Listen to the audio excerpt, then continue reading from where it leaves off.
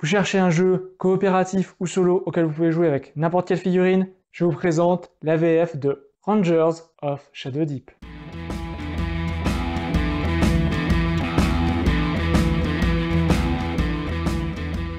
Salut à tous Et oui, Rangers of Shadow Deep, la VF. C'est pas vraiment une nouveauté sur euh, ma chaîne, puisque euh, finalement c'est quasiment la première vidéo que j'ai faite en partir du moment où j'ai renommé la chaîne Papa Wargamer, et il y a déjà eu 8 vidéos euh, sur ce jeu avec la célèbre saga de mon Jarl Marduxom et de ses compagnons euh, vikings. Mais ce qui s'est passé, c'est que cet été est sorti l'AVF édité par Studio Tomahawk et par but INC. Il s'agit d'une VF du livre de règles original et vous avez un certain nombre de règles supplémentaires proposées par les barbus ou issus, j'imagine, d'autres suppléments de Rangers of Shadow Deep que je n'ai pas en ma possession. Ce que je vous propose dans cette vidéo, c'est que je vais passer en revue le livre, l'objet, sa qualité, je vais essayer aussi de souligner les ajouts ou les différences qu'il peut y avoir par rapport à la version originale en anglais, Maintenant, si vous préférez découvrir ce jeu à travers des parties filmées, je vous renvoie plutôt vers mes autres vidéos, je vous mettrai un lien en description. Mais sans plus attendre, voyons ce que ce livre a à nous proposer, direction l'ombre fausse, c'est parti Et c'est parti pour la revue de ce jeu, Rangers of Shadow Deep par Joseph Mark Moloff, en version euh, française en tout cas. Donc, avant de parler du contenu, parlons déjà du contenant. On est sur un beau bouquin, franchement, on peut le dire. Euh, au niveau de l'illustration et de la forme, ça ressemble à la forme dans laquelle il était sorti euh, en VO. Mais on est sur une couverture euh, cartonnée, épaisse, donc un truc qui a l'air plutôt solide. Au niveau de la reliure du bout de livre, alors on est sur une espèce de thermocollage, mais en plus il y a une espèce de, de petit, je sais pas, fil, filin, filament, je sais pas comment est-ce qu'il faut le dire, qui se surrajoute à ce thermocollage. Et on voit quand on ouvre le bouquin, au niveau des pages, je sais pas si je vais arriver à vous le montrer la caméra, mais on voit qu'en tout cas, en plus du thermocollage, il y a une espèce de, câble, de fil euh, qui relie les pages et qui euh, rajoute, j'imagine, à la solidité. Après, je suis pas technicien euh, d'imprimerie, j'en sais rien du tout, mais en tout cas, j'ai l'impression qu'on a un bouquin aussi quali que ce qu'on peut attendre d'un ouvrage de ce type-là. on est tout à fait sur le niveau de qualité, il me semble, des, que, les, codex Game Workshop ou les, ou les autres livres du type saga, enfin bref, sur un, sur un beau bouquin en tout cas en termes de qualité du produit. Pour continuer sur la présentation, si on ouvre le bouquin, on voit qu'on va être déjà sur du papier euh, très quali, franchement, euh, espèce de papier glacé euh, qui a l'air assez épais, très quali. En tout cas, qui ne va pas se déchirer dès que vous avez tourné une page. Au niveau des illustrations, on va avoir une alternance, donc comme on le voit ici, de photos de figurines réelles, très bien peintes, c'est très immersif, très joli. On va aussi avoir des illustrations au crayon qui sont par, il Par Barrett Stanley, Stanley peut-être, je sais pas comment on prononce, à l'anglaise. Euh, donc des illustrations euh, plutôt au crayon, assez sympa, avec un petit côté euh, légèrement old school, en tout cas très très crayonné, pas hyper hyper défini et, et, propre. Là, ce petit zombie, pareil, qui s'avance. Qu'est-ce qu'on va avoir Voilà, ce Rangers. ça ressemble à des à des, des dessins faussement faits à la main vite. Je dis faussement parce qu'à mon avis, pour dessiner ça, il faut quand même y passer du temps. Je suis pas un spécialiste là non plus. J'adore cette illustration. Euh, en gros, les différentes armes et armures comme on pourrait avoir dans des bouquins de, jeux de rôle type Donjons et Dragons. Euh. Voilà, bon maintenant, assez parlé du contenant, parlons du contenu. Alors, on a le mot du barbu. Euh, avec les studios Tomahawk, c'est l'un des deux éditeurs du bouquin dans la version française en tout cas, nous explique que voilà, ils adorent le jeu, qu'ils en sont très contents, qu'ils ont adoré collaborer avec tout le monde. Bon, les remerciements habituels qu'on peut attendre en début d'un ouvrage, quel qu'il soit. Ensuite, on passe au sommaire. Alors là, on va avoir des choses intéressantes. On va avoir donc une petite introduction avec le background officiel du jeu qui, je le répète, peut être modifié à votre guise. Moi, si vous allez voir les autres vidéos de la chaîne, vous verrez que j'ai fait une campagne avec une espèce de viking qui arrive et qui s'installe et qui se fait attaquer par l'ombre fausse. Vous pouvez jouer, euh, je sais pas, dans un désert, euh, à une autre époque, un truc Medfan, un truc steampunk. Bref, le background qui est présenté dans le bouquin est absolument pas bloquant ou gênant pour transporter le jeu dans un autre univers de votre choix. L'auteur a d'ailleurs lui-même dit sur son Facebook qu'il encourageait les gens à, imaginer le, background qu'il voulait. Donc quelques mots d'introduction, ce que vous aurez besoin pour jouer, et ensuite créer un ranger.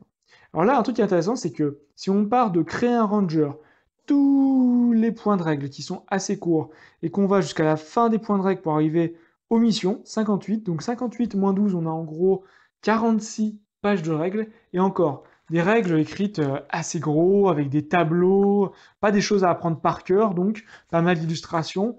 Donc on voit qu'on va être sur un corpus de règles assez ramassé. D'ailleurs, je suis le premier étonné de voir qu'il y en a autant, 44 pages de règles. Il me semblait qu'il y en avait moins dans la version euh, anglaise PDF que j'avais. En tout cas, vous allez voir que c'est un système de jeu qui se veut très simple. Ce que ça nous dit aussi, c'est que si l'émission commence à la page 58 et qu'en gros on a environ 130 euh, pages dans le livre, ça veut donc dire qu'il y a quand même 70-80 euh, pages de mission dans ce seul bouquin de base. Donc il va quand même y avoir de quoi faire, surtout que chaque mission, en gros, c'est 3-4 pages maximum. Bon, je vous propose d'avancer. Alors, encore une très jolie euh, photo euh, d'illustration. Alors ça, ce sont des figurines de la gamme de North Star Miniature, je crois, et qui sont spécialement créées pour ce jeu. Sachant que Bien sûr, vous pouvez utiliser les figurines de votre choix et qu'il y a plein d'autres gammes dans lesquelles vous trouverez des figurines particulièrement adaptées pour faire votre ranger. Dans la gamme Le Seigneur des Anneaux, euh, bah, Aragorn et pas mal d'autres bonhommes iront euh, très bien. Vous pouvez aussi prendre de la Night Watch de euh, A Song of Ice and Fire. Vous allez avoir plein de figurines pour les jeux de rôle type Donjons et Dragons qui iront particulièrement bien pour représenter vos rangers. Bref, vous avez le choix. Un petit mot sur l'ombre fausse. Alors ça, ce sont des euh, textes, en fait, des discussions entre personnages. J'aime beaucoup ce genre de background qui est en fait pas un background dit de point de vue, euh, d'un point de vue omniscient, mais vraiment des discussions de personnages dans un univers. Je trouve que c'est plus efficace pour s'immerger dedans. Ensuite, introduction. Alors là, voilà, ça c'est le mot de l'auteur, en gros, même si ça s'appelle introduction. Ça a été écrit par l'auteur du jeu. Donc comme d'habitude, on va s'y attarder un peu pour voir quelles étaient les intentions de l'auteur.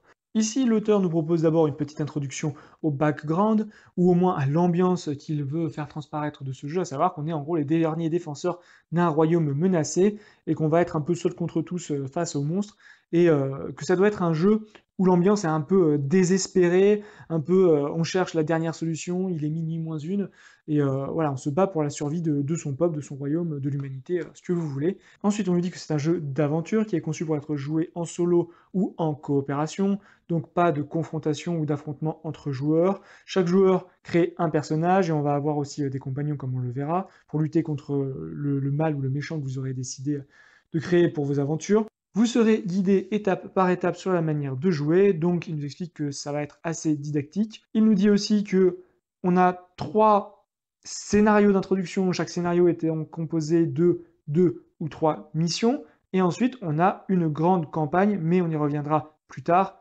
Enfin, l'auteur nous invite à nous approprier ces règles et à ne pas hésiter à les modifier à notre sauce et à notre guise pour nous amuser. Donc l'auteur ne nous dit pas vraiment s'il vise un jeu qui se veut plutôt tactique ou plutôt narratif. Néanmoins, il nous dit qu'il ne faut pas hésiter à modifier les choses comme on le veut.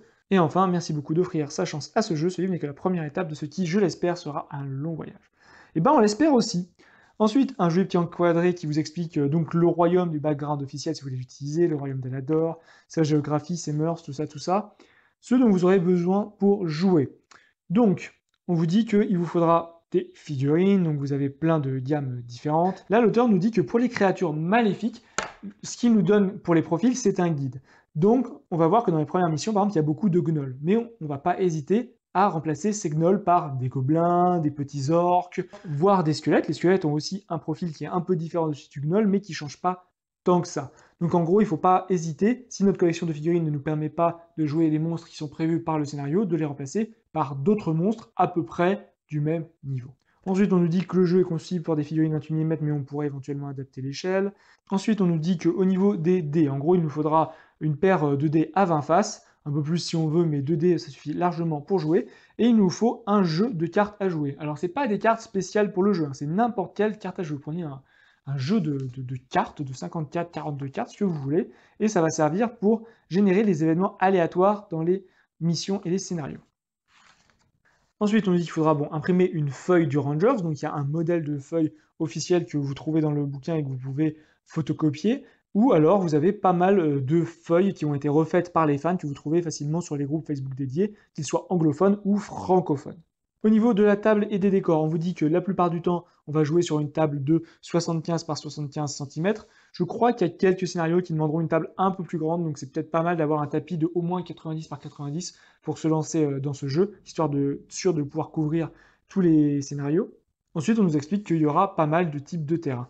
Et alors ça, pour le coup, c'est un des premiers challenges de ce jeu. Avoir une collection de décors suffisamment grande et suffisamment variée pour couvrir les différents scénarios. Parce que même si vous voulez changer le background de votre histoire, des fois on va vous dire qu'en gros il faut être sur des terrains denses avec des collines, des fois avec des forêts, des fois on va être dans des cavernes, des fois il va vous falloir une rivière avec un pont pour passer par-dessus. En tout cas, tout ça rien que dans les scénarios du livre de base. Donc, partant, vous avez plusieurs possibilités. La première, c'est vous imprimer des décors que vous pliez et qu'ensuite euh, vous collez avec du scotch ou un peu de colle, et vous pouvez vous faire rapidement toute une variété de types de décors avec ce système. Soit vous êtes du genre à préférer acheter vos décors tout faits, dans ce cas-là, vous pouvez bien sûr en acheter, mais étant donné la variété et le nombre de décors prévus, ça risque quand même de coûter un peu cher. Enfin, la dernière option et celle que je préfère, c'est de crafter ces décors soi-même. Il y a sur Internet, et plus particulièrement sur YouTube, tout plein de chaînes qui sont spécialisées dans les tutos pour fabriquer des décors. Que ce soit avec du carton,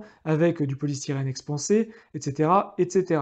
Et je trouve que c'est une solution qui est plutôt pas mal. Ça fait partie du plaisir du hobby. Après, vous, si ce n'est pas votre plaisir, ben, vous choisirez l'une des deux autres solutions précédemment citées. Encore une jolie, euh, illustration. Ça me fait penser à la fin euh, du premier livre euh, du Seigneur des du premier film, quand ils sont dans les ruines et qu'ils sont attaqués par les Orokai. Bon, bah, là, c'est des squelettes, mais ça ressemble un peu à ça, je trouve, ce décor. Ensuite, on attaque le gros morceau, la création du Rangers. Alors, la première étape, avant de jouer, bien sûr, c'est de créer votre personnage. Et là, on a un système de création de personnage qui ressemble beaucoup à ce qu'on fait dans un jeu de rôle. On a des caractéristiques de base, et ensuite, on va avoir 10 points pour améliorer ces caractéristiques et les compétences, et s'acheter des capacités spéciales, etc., etc.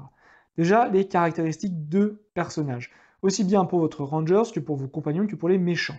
Il y aura le mouvement, le combat, donc ça c'est un bonus à votre D20, le bonus au tir, l'armure, plus la valeur est haute, mieux c'est, elle dépend essentiellement de votre équipement, vous ne pouvez pas l'améliorer en dépensant des points dedans. La volonté, ça ça vous sert euh, pour passer certains jets, pour résister à des sorts ou à des événements aléatoires, et la santé c'est votre nombre de points de vie. À la création, vous pouvez dépenser jusqu'à 3 de vos 10 points pour améliorer de 1 l'une de ces caractéristiques, sauf l'armure, sachant que vous ne pouvez pas améliorer une caractéristique de plus de 1. Vous ne pouvez pas commencer directement à vous mettre plus 5 en combat par exemple. Ensuite, on va pouvoir acheter des capacités héroïques et des sorts. Alors en gros, c'est simple, une capacité héroïque ou un sort, ça vous compte un point de création. Et vous pouvez dépenser jusqu'à 5 points de création pour acheter des capacités héroïques ou des sorts. La différence entre les deux, c'est que les capacités héroïques, vous allez pouvoir les utiliser sans dépenser d'action quand vous activez votre bonhomme, alors que les sorts, ça va vous coûter une action. Dans les deux cas, vous ne pouvez les utiliser qu'une seule fois par partie. Et ça, il n'y a que votre ranger qui va en avoir. C'est ce qui vraiment va le distinguer et faire que c'est un héros, contrairement aux autres.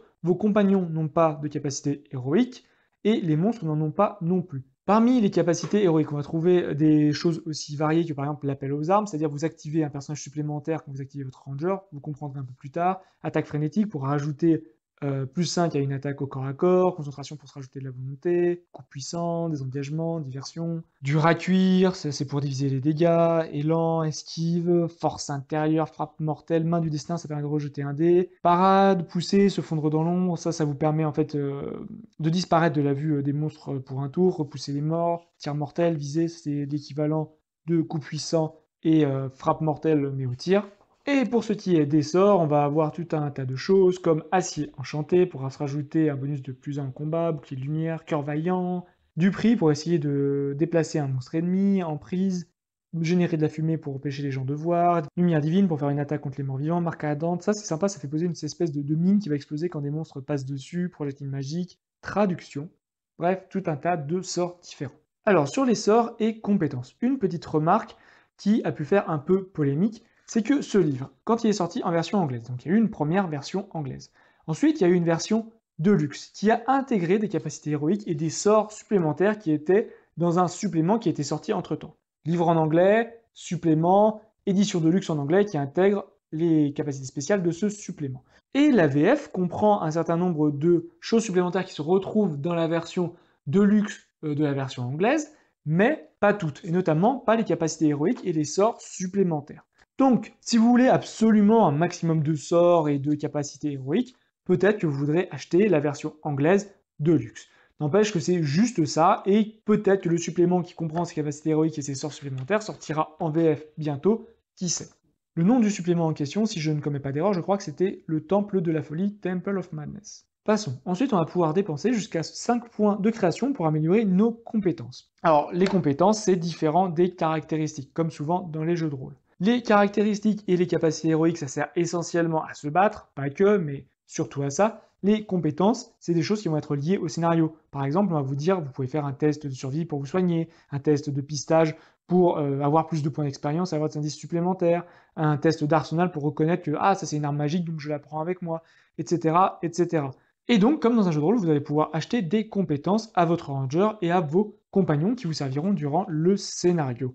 Pour un point, vous allez pouvoir rajouter plus 1 dans cette compétence différente. Ce qui veut dire que donc vous ne pouvez pas avoir tout de suite plus 2 en acrobatie ou plus 2 en force avec un seul point. Ensuite, vous pouvez redépenser un deuxième point pour à nouveau mettre des plus 1, et ensuite, et ainsi de suite, et ainsi de suite, et ainsi de suite. Et on peut ainsi dépenser jusqu'à 5 points de création pour nos compétences. Un petit encadré sur l'étoile d'argent, en gros dans le royaume d'Alador qui est le royaume officiel, vous avez euh, vos rangers qui ont une petite étoile en argent pour se reconnaître. Ensuite, on arrive au point de recrutement. Ça, c'est les points qui vont vous servir à recruter vos compagnons. Ils dépendent de deux choses. D'abord, vous pouvez dépenser jusqu'à 3 points de création pour augmenter votre total de points de recrutement qui est de 100 au départ, de 10. Donc pour 1 point, vous passez à 110, pour 2 points à 120 et 3 points à 130. Ensuite, ce total, il faut savoir qu'il va être divisé en fonction du nombre de joueurs qu'on va avoir dans la partie. Donc par exemple, si on joue à 2, ce sera les 100 points ou les éventuellement 110, 120 ou 130 points divisé par 2, moins 10, et c'est ça qui vous servira comme point de recrutement. Mais donc, si vous jouez en solo, ça peut être très intéressant de dépenser des points. Si vous jouez à 3 ou 4, ça va tout de suite être beaucoup moins intéressant de dépenser des points de création là-dedans. Enfin, on arrive à la partie armes, armure et équipement. Donc, votre ranger, il a 5 slots d'équipement et il va pouvoir prendre donc 5 objets, 5 armes ou équipements de base. Sachant qu'en plus, il aura forcément une dague puisque ça ne prend euh, pas de place dans votre équipement. On vous précise qu'il ne peut avoir qu'un seul type d'armure, légère ou lourde. Donc on peut avoir un arc pour pouvoir tirer, et si on prend un arc, bien sûr, il va nous falloir un carquois qui va porter nos flèches ou nos carreaux d'arbalète pour pouvoir tirer. L'arbalète, c'est un peu comme un arc, sauf qu'il faut dépenser une action pour pouvoir le recharger, et on a plus de dégâts. Alors, armure légère ou armure lourde? L'armure légère, ça vous rajoute plus 1, c'est tout. L'armure lourde, ça vous rajoute plus 2 à votre armure, mais moins 1 à votre mouvement. Euh, ensuite, on peut avoir une corde pour pouvoir permettre, euh, quand on a escaladé une, euh, un truc en hauteur, de permettre aux autres figurines d'escalader sans avoir à faire de jet pour escalader. Un bouclier, ça rajoute plus 1 en armure, mais on peut pas porter d'arme à deux mains, logiquement. Le bâton, alors, il inflige des dégâts moins 1, mais il inflige également moins 1 à l'adversaire pour vous taper dessus. Donc c'est pas mal, les couteaux de lancer, c'est une arme de lancer, mais c'est pas oufissime. Une arme à deux mains, donc on peut pas porter de bouclier, mais on a plus 2 aux dégâts. Ah, et il est précisé que chaque arme à deux mains prend deux emplacements d'objets. Ben tiens, ça je l'avais pas vu, euh, je sais pas si c'était dans les règles d'origine. Et qu'est-ce qui se passe quand on se bat désarmé Et voilà, et ensuite une illustration assez sympa, il ressemble vachement à un assassin euh, elfe noir, je trouve, ce, ce Rangers. En tout cas, je sens que les cultistes, ils, se réalisent pas encore qui va leur arriver. Et ensuite, on attaque les règles de base. Alors là, je vais essayer de vous résumer un peu tout ça, mais vous allez voir que c'est quand même assez simple et intuitif. Alors, au niveau de la mise en place, on vous explique que par défaut, on joue sur 75 cm par 75 cm, mais ça, les scénarios vous le précisent de toute façon. Ensuite, la séquence d'un tour de jeu. Un tour de jeu, c'est d'abord une phase de ranger, ensuite une phase de créature, une phase de compagnon, et enfin une phase d'événement. Et on va vous détailler toutes ces phases. La phase de ranger, c'est votre ranger donc qui s'active et qui joue. Et dans le même temps, durant la même phase, vous pouvez activer un certain nombre de compagnons selon le nombre de rangers que vous êtes. Donc quand vous jouez seul, vous activez deux compagnons. Quand vous êtes deux rangers, vous activez un compagnon chacun, et quand vous êtes trois ou plus, vous activez zéro compagnon. Sachant que par rapport à la version euh, de base des règles que j'ai utilisées pour les euh, scénarios que je vous ai montrés, il n'y a pas de limite de distance. Vous activez des compagnons n'importe où, où vous voulez, sur la surface de jeu. Ensuite, la phase des créatures, vous activez les créatures suivant l'ORIA. La phase des compagnons, vous activez les compagnons qui ne se sont pas activés pendant la phase du ranger. Et enfin, phase d'événement, vous aurez à chaque scénario constitué une pile de cartes que vous aurez mélangées et retournées. Vous tirez une carte, et ça vous donne un événement qui va se produire à la fin de ce tour. Donc, comment ça se passe quand on active un personnage? En gros, il a deux actions. Une de ces actions, c'est soit se déplacer, soit recharger son arbalète. Sa deuxième action, ça peut être ce que vous voulez. Donc, ouvrir une porte, euh, attaquer, faire une action euh, du scénario, enfin bref, n'importe quoi d'autre. Et on vous précise que lorsque vous activez plusieurs figurines, vous choisissez l'ordre dans lequel vous activez, mais vous devez entièrement résoudre l'activation de la figurine.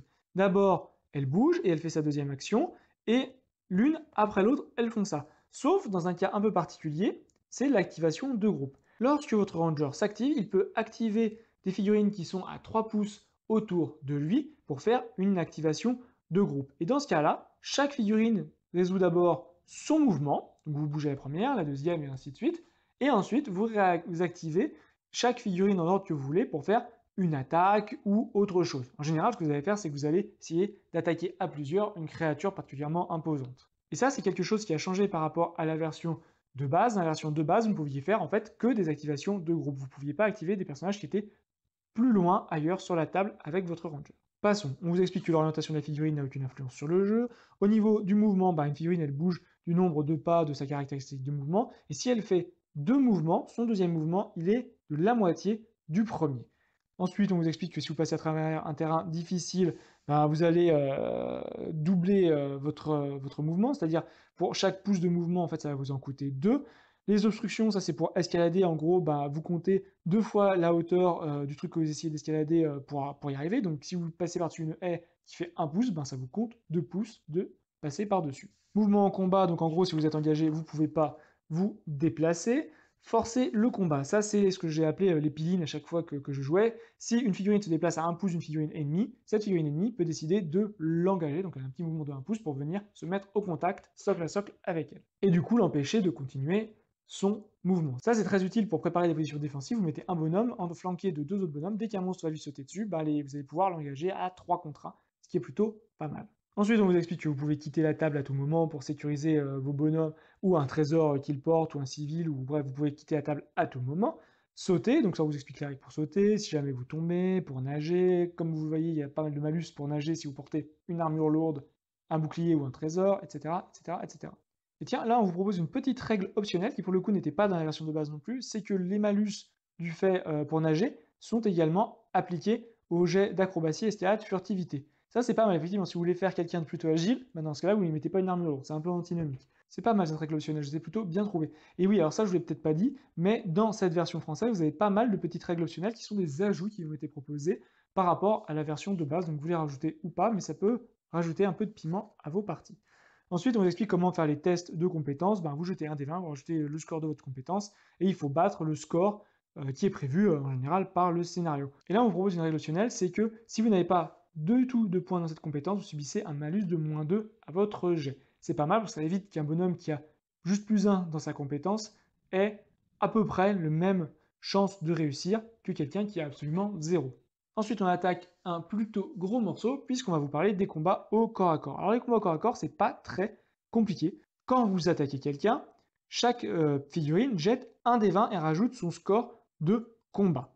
À la fin, celui qui gagne inflige des dégâts à l'autre. Ce qui veut dire que si vous vous déplacez et attaquez un monstre, si ce monstre vous bat, il va vous infliger des dégâts. Donc c'est toujours un peu dangereux de combattre au corps à corps. Bien sûr, vous allez pouvoir avoir d'autres bonus en plus de votre euh, capacité de combat. Vous allez avoir un bonus de plus 2 quand euh, vous avez un copain à côté, et plus 4 si vous en avez deux, etc., etc., etc. Donc celui qui gagne le combat est le seul à infliger des dégâts. En cas d'égalité, les deux combattants s'infligent des dégâts. Pour savoir le nombre de points de vie que l'autre figurine perd, on prend le résultat de ce jet, on enlève l'armure, et c'est le nombre de points de vie qui perd. Donc comme vous le voyez, c'est assez simple. Là, ensuite, on vous donne plusieurs exemples de combats multiples pour savoir quand est-ce que vous avez un bonus pour être à 2 sur 1 pas. En gros, une figurine qui vous apporte un bonus, c'est une figurine qui n'est pas elle-même engagée par un autre combattant, et vous avez plusieurs exemples pour vous le montrer. Là, vous avez une règle optionnelle qui est un peu particulière, où on vous propose de remplacer le D20 par un paquet de cartes. Alors, je ne suis pas sûr que j'aime cette option. Elle permet, comme les auteurs l'indiquent, de réduire l'aléatoire, parce que forcément, une fois que vous aurez pioché le 2 dans le paquet de cartes, bah, il n'y sera plus, donc forcément vous allez faire des plus gros scores. Mais d'un autre côté, c'est quand même des manipulations qui me semblent un peu plus longues, un peu moins immersives que de jeter ce D20. Et en plus, le jeter un D20, ben, ça rappelle pas mal de choses à ceux qui ont fait euh, du jeu de rôle, du donjon et dragon. Et euh, voilà, ça a quand même ce côté euh, nécessairement lié avec cette ambiance jeu de rôle aventure. En plus, je trouve que l'aléatoire pour un jeu coopératif d'aventure comme ça, c'est pas gênant, c'est pas fondamentalement gênant si c'est pas complètement débile. D'autant plus que vous pouvez quand même le mitiger un peu cet aléa en vous groupant, en restant assez groupir, puisque comme on va le voir, les monstres, ils ont une IA qui est quand même très prévisible. Donc il y a quand même moyen de mitiger cet aléa. Donc je sais pas. Après, si vous, vous adorez des jeux de figurines qui utilisent des, euh, des cartes, par exemple Malifaux, moi j'adore, et ça se joue avec des cartes, ça se joue pas avec des dés. Mais c'est un jeu d'affrontement. Là, c'est un jeu coopératif, donc euh, je ne suis pas convaincu. Alors là, on vous parle critiques, c'est quand vous faites un 20 naturel sur votre dé, ben, vous gagnez automatiquement le combat et vous infligez plus 5 points de dégâts, sachant que les monstres ne font jamais de critiques. Ensuite, on vous explique pour le tir, ben, en fait, le tir, ça se résout à peu près comme le corps à corps, on jette un des 20, plus on rajoute notre tir, et la créature en face va jeter un des 20, rajouter son jet de combat, pas de tir. Et si elle vous bat, bah, elle vous renvoie pas la flèche en pleine gueule, juste il se passe que vous lui infligez pas de dégâts. Et si vous vous la battez, ben pareil, on calcule les dégâts. Sachant que l'adversaire a des bonus si euh, la ligne de vue est obstruée, s'il a un couvert léger, un couvert lourd, si vous avez bougé avant de tirer dessus, et l'adversaire a un malus si c'est une grande cible. Précisons qu'il n'est pas possible de tirer dans un corps à corps, sauf s'il y a une cible qui est grande. Dans ce cas, on peut tirer sur la grande cible au milieu des autres. Là, on vous propose une règle optionnelle pour réduire les dégâts si vous avez fait un gros score sur votre jet de combat pourquoi pas? Ça me, gêne, euh, ça me gêne moins que la précédente option, ça j'aime bien. Ensuite, les dégâts, bon bah je vous expliquer comment se prend les dégâts, mais il y a d'autres choses, il y a le poison, donc en gros quand vous êtes empoisonné, parce que vous avez été touché par une créature ou un événement, le poison fait que vous allez n'avoir plus qu'une seule action par activation. Donc ça va quand même vachement vous ralentir. La maladie, ça vous affectera pour la mission prochaine, vous commencerez avec moins 3 de santé et moins 1 sur tous vos jets, et si vous tombez à 0, ben, vous ne prendrez pas part au scénario. Ensuite, on vous parle de la faim et la soif. Donc en gros, si le scénario prévoit un système de faim et de soif, ben, quand vous commencez en ayant faim ou soif, vous avez moins 2 en santé, et ça se cumule. Vous pouvez avoir moins 4, et puis ensuite moins 6, etc. Là, on vous parle un peu du roi euh, d'Alador, le royaume officiel. Utilisez les capacités héroïques et les sorts. Ben, comme je vous l'ai dit, en gros, ça vous prend une action si c'est un sort, pas d'action si c'est une capacité héroïque, et c'est toujours qu'une fois par partie. Ensuite, les marqueurs trésors. Dans certains scénarios, il va y avoir des trésors. Vous allez au contact, et pour une action, vous pouvez le ramasser ça ne gêne pas votre figurine, sauf pour nager comme on l'a vu. Et à la fin de la partie, si votre figurine qui porte le trésor est encore en vie, ben vous allez jeter des dés pour déterminer le trésor que vous avez. Là ensuite on va attaquer le système d'IA des monstres. Quand c'est leur phase. On va commencer par le monstre qui a le plus de points de vie. Et ensuite on va suivre ce schéma. La créature est-elle en combat? Oui, elle tape. Non. La créature a-t-elle un héros en ligne de vue? Ben Dans ce cas-là, elle lui tire dessus si c'est possible, et sinon elle se déplace pour aller l'engager. Et ensuite, étape 3, si elle ne voit pas de héros euh, de votre équipe, dans ce cas-là, est-ce qu'il y a un point clé? Dans ce cas-là, elle se dirigera vers le point clé, qui est précisé dans les scénarios, c'est-à-dire c'est un point d'intérêt. Et s'il n'y a pas de point clé, dans ce cas-là, elle va se déplacer de manière aléatoire.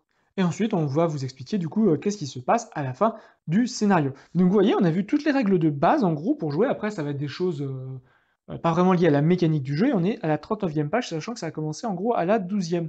Donc c'est vraiment un système de jeu plutôt simple à assimiler, je trouve. Ensuite, là, on va vous montrer tous les compagnons que vous pouvez recruter, sachant que si vous êtes un seul joueur, vous pouvez avoir maximum 7 compagnons, on vous explique que vous allez avoir tous vos points de recrutement. Si vous êtes deux, vous allez avoir la moitié, moins 10 de points de recrutement, et chacun ne peut en avoir que 3, et ainsi de suite, etc. etc.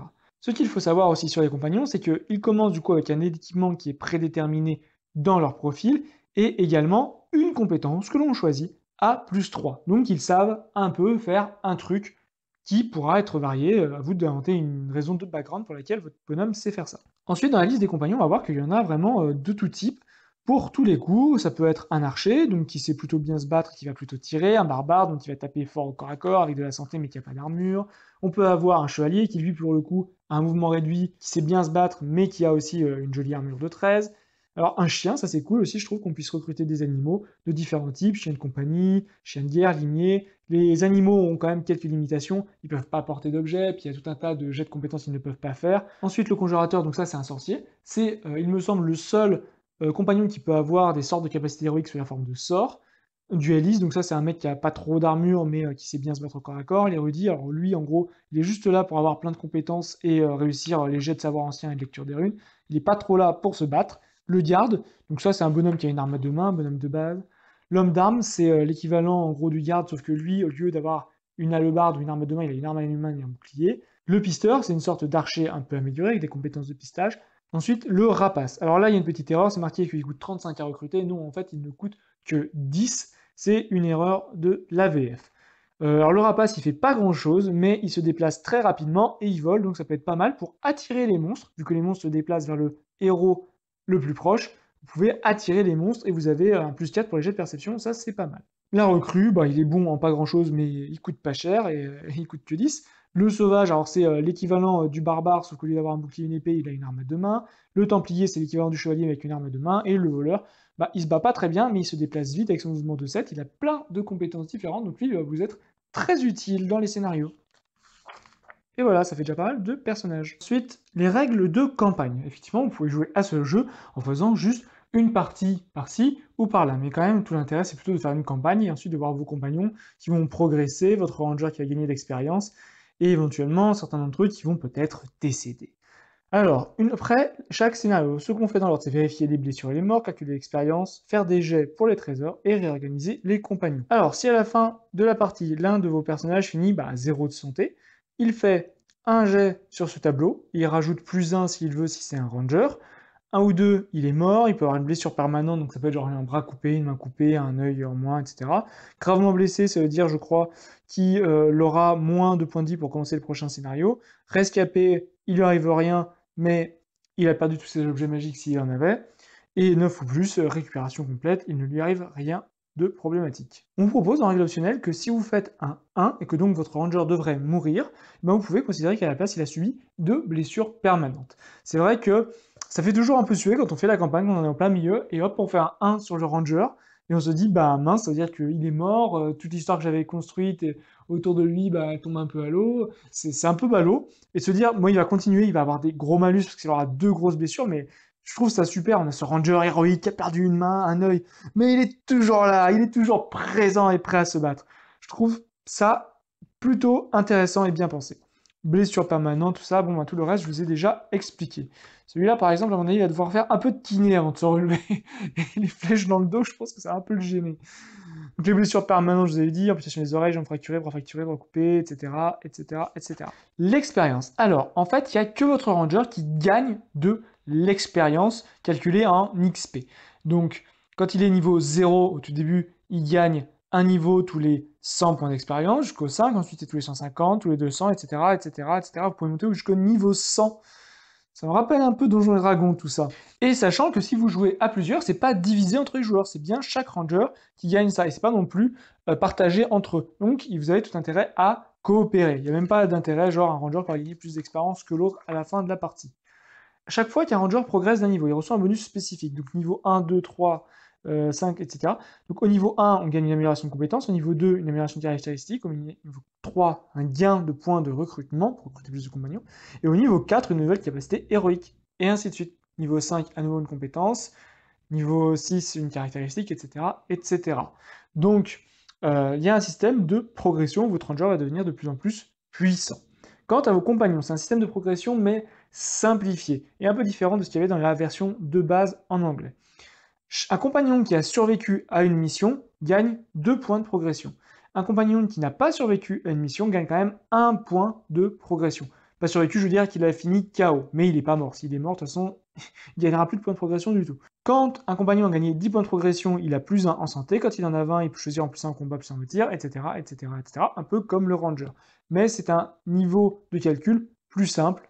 Ensuite, les trésors. Si jamais vous avez conservé des trésors ou que vous avez fait sortir de la table, vous jetez un dé, vous pouvez soit récupérer de l'or et des bijoux qui en fait va se traduire en XP ou en point de progression, des herbes ou potions, et là on va jeter sur le tableau des herbes ou potions. Vous pouvez aussi avoir gagné une arme ou une armure, ou 17 ou 20, un objet magique. Et là, du coup, vous regardez après le tableau, il y a plein de, plein de choses différentes dans les herbes. Là, pour le coup, je ne les ai pas toutes lues. Herbe de Démoclès, plus 5 à la volonté, feuille de longue lueur, feuille de fureur, poudre de fer écorce, fleur nuit. Bon, il y a des noms à coucher dehors, potion de soin, potion de force, potion de robustesse. Je pense que je sais de quoi ça parle. Mais pour tout le reste, euh, bah, c'est à découvrir au fur et à mesure de vos aventures. Ensuite, armes et armures. Donc c'est des armes et armures légères, donc armes à une main magique, armes à deux mains magiques, etc., etc., etc. Si vous regardez le tableau des armes et des armures, vous voyez que toutes les armes magiques, elles ont un petit nombre entre parenthèses, et en fait ça c'est le nombre d'utilisations. Et je trouve ça franchement pas mal, parce que ça permet de limiter la disparité entre un ranger qui vient de commencer et un ranger qui aurait euh, plein d'objets magiques, parce que forcément vous les garderiez euh, tout le temps sinon vos objets magiques. Et du coup, ça évite de, partir dans, trop, le gros bilisme Là, on vous explique un peu les différentes caractéristiques euh, des, armes magiques, ou les objets magiques, pareil, il y en a plein, plein, plein de, différents. Certains avec des utilisations limitées, d'autres non. Alors, après ça, réorganiser les compagnons. Alors là, on vous explique qu'après chaque mission et certains scénarios, parce qu'en fait, les missions sont décomposées en plusieurs scénarios, donc à la fin d'une mission, vous pouvez réorganiser vos compagnons, en mettre certains au placard et en recruter de nouveaux.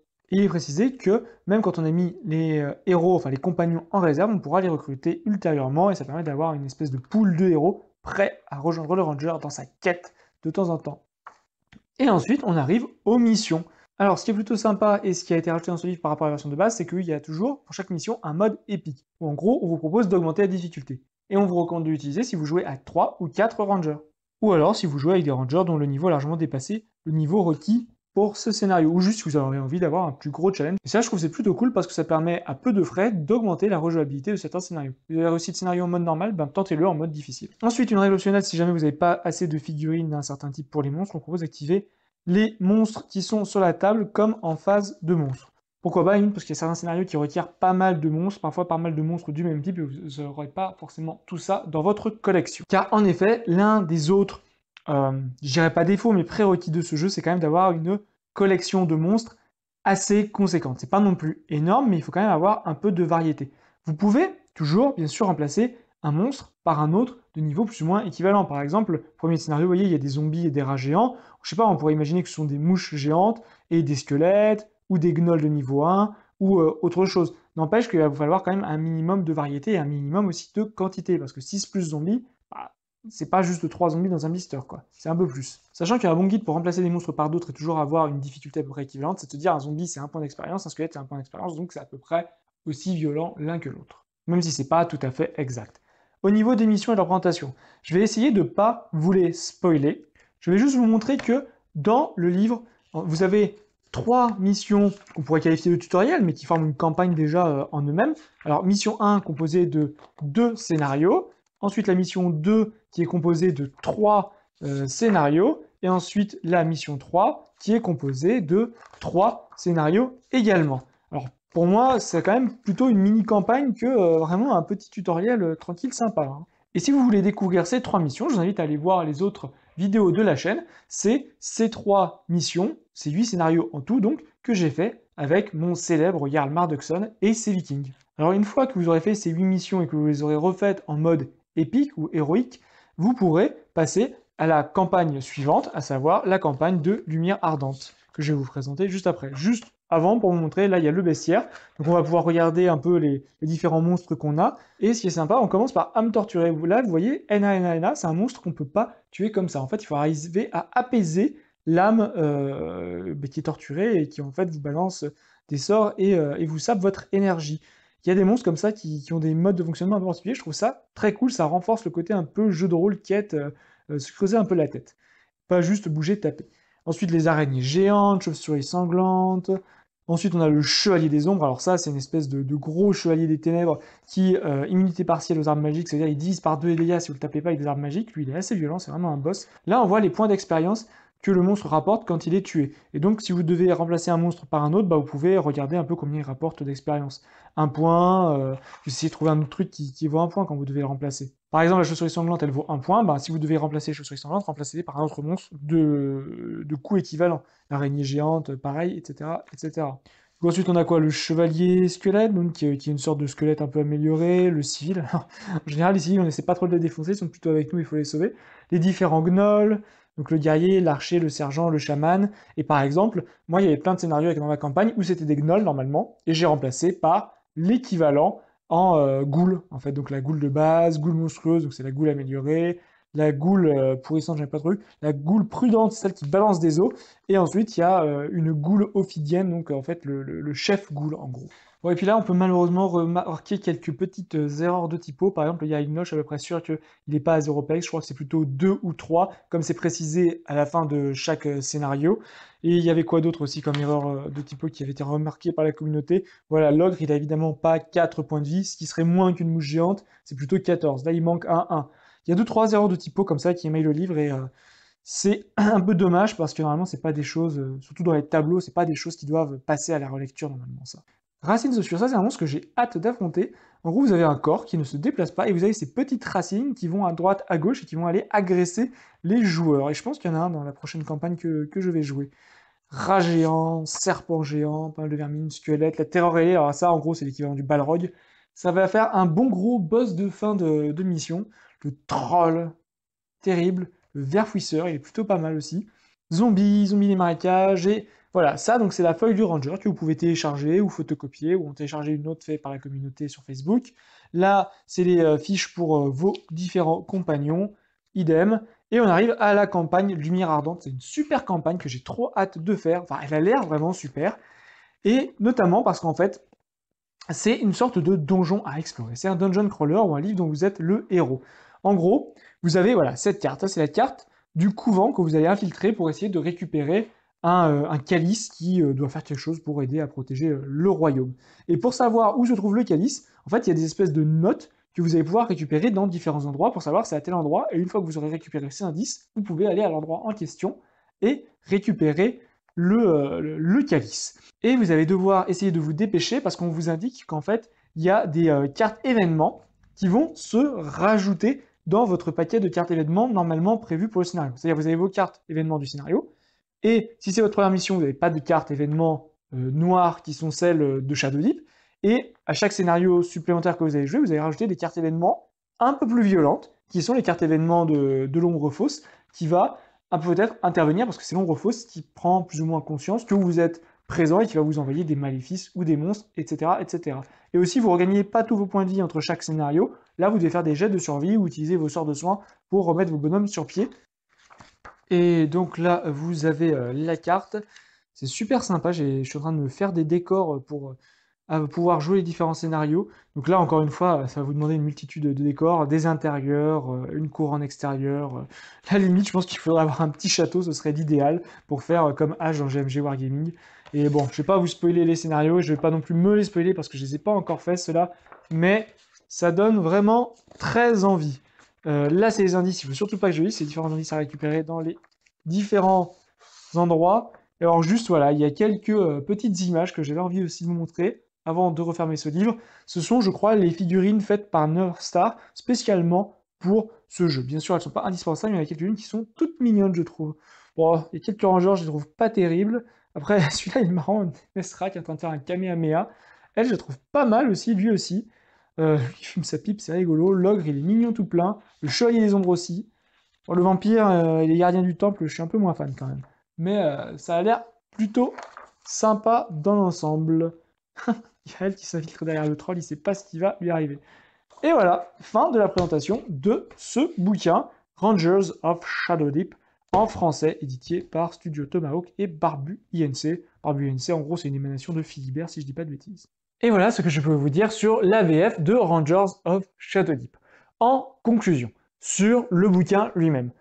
Il n'y a pas à dire, c'est un très bel objet de très belle qualité. Ils ont repris euh, les illustrations euh, du bouquin d'origine qui étaient vraiment super. Ils ont, je crois, rajouté des photos qui n'étaient pas en tout cas dans le PDF que moi j'avais. Ça fait vraiment un bel ouvrage avec de belles illustrations qui donnent envie d'être feuilleté et lu. On y retrouve les 8 scénarios que j'avais dans mon PDF, euh, les trois missions en fait d'introduction, plus la campagne de Burning Light, Lumière Ardente, et ça c'est très bien, ça nous promet quand même pas mal d'heures de jeu. On peut quand même regretter la présence de certaines coquilles dans les stats ou les coups en point euh, de certains monstres ou de certains compagnons. Ça, c'est dommage parce que normalement, à la relecture, ce genre d'erreur, ça devrait pas passer, surtout quand c'est des chiffres dans un tableau et que ça impacte l'expérience de jeu si on n'a pas euh, connaissance de la FAQ ou de l'errata pour corriger tout ça on saluera l'ajout de règles optionnelles pour personnaliser son expérience de jeu selon ce que l'on préfère. Je pense que par exemple avec le système de cartes, l'expérience de jeu doit être assez différente et le mode épique permet vraiment de jouer avec une vraie confrontation en face, même quand on est 3 ou 4 rangers.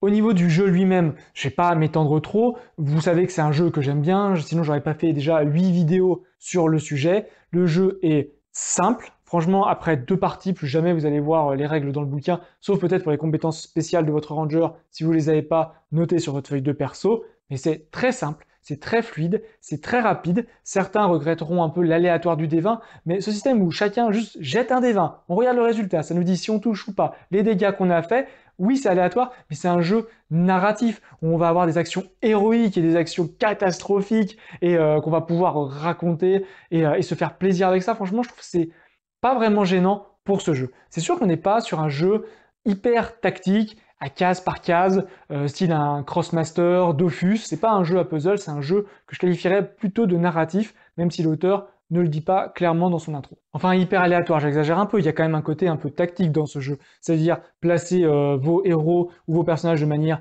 groupir pour que quand il y a un monstre qui arrive, ben, vous soyez tout de suite à trois contre 1, ce qui vous donne des bonus significatifs, utiliser les capacités du ranger à bon escient, vous pouvez aussi envoyer un voleur ou un bonhomme qui court vite pour pouvoir attirer les monstres vers un endroit pendant que vos personnages font tranquillement les objectifs à un autre endroit. Il y a quand même un peu de réflexion à avoir. Une autre caractéristique du jeu, qu'il va falloir une petite collection de figurines, mais ça, franchement, vous allez voir sur internet, regardez dans les collections euh, Dungeon Saga notamment, ou euh, d'autres euh, Kickstarter de monstres, ou si vous avez déjà un Dungeon Crawler, vous avez probablement déjà tous les monstres qu'il vous faut. Après, c'est aussi un jeu qui va vous demander par contre pas mal de terrain, parce que ça se joue pas sur des tuiles. Vous pouvez hein, rapporter vos tuiles de donjon d'un autre jeu et vous en servir pour jouer à ça. Mais l'idée, c'est plutôt peut-être de faire du craft de décors 3D. Si vous allez sur les groupes Facebook, vous allez voir plein de photos de tables absolument magnifiques, et ça fait partie d'ailleurs, à mon avis, de l'expérience de jeu le côté du ah tiens je sais que je vais jouer ce scénario il y a une rivière et un pont, bah, c'est l'occasion, je vais me mettre à crafter une rivière et un pont. Donc voilà mon avis sur Rangers of Shadow Deep, la VF. Attendant de vous retrouver dans de prochaines vidéos, je vous souhaite comme d'habitude de